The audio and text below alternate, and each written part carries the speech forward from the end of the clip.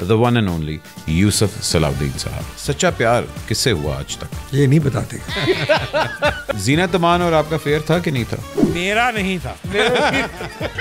Very naughty पढ़ाई में कोई इंटरेस्ट नहीं मैथ्स में ज़ीरो जिया का दौर जिसने पाकिस्तान की तारीख एकदम बदल के रख। दी उसकी कुछ शक्ल पे एक फरौनियत सी लगती थी। जो हमें कुरान ने या सीरत नबी ने हमें जो सिखाया है क्या हम उस पर हमने कभी अमल किया? अठारह हज़ार आलिम थे जब करबला का वाक्य हुआ है। एक भी सामने नहीं आया। डिफेंड करने इमाम हुसैन स्कूलों में I mean I was horrified at some age of 13 14 they are doing drugs बाजार हुसन तो वैसे भी अब डीएचए में आ गया सारा चौधरी अल्ताफ साहब जब गवर्नर थे पंजाब के तो उन्होंने ये स्टेटमेंट दी थी कि मुझे बड़ा दुख है कि मैं अपने बेटे की शादी पे मुजरा नहीं करवा सकता ਤੁਸੀਂ ਮੁਜਰਾ ਵੇਖਣਾ ਨਾ ਤੇ ਤੁਸੀਂ ਟਿਕਟੌਕ ਲਾ ਲਓ ਆਪਣੀ ਰੋਟੀ ਖੁਦ ਪਕਾਓ मैं तुम्हारी नौकर नहीं it is totally funded by the west army और पाकिस्तान की आवाम को अलहदा किया जाए ये एक बैरूनी साजिश आपको लगती है ये पाकिस्तान का नुकसान है Pakistan cannot survive without the army the army cannot survive without the support of the Pakistani हवा एक तो मुझे लड़कियों की शक्लों की समझ नहीं आती, सबकी शक्लें एक जैसी। वो फ़िल्टर एक ही लग गया ना?